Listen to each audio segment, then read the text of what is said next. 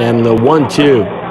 the Silvio hits to third. Pinto catches on the fly. throws over to first. In time. Double play.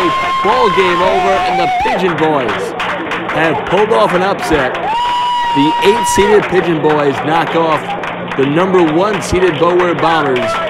From Mid Island, your final score, Pigeon Boys 8, Bower Bombers 1.